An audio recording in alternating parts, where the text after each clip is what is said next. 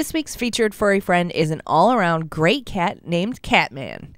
Catman is about five years old and came to the APL as a stray back in August.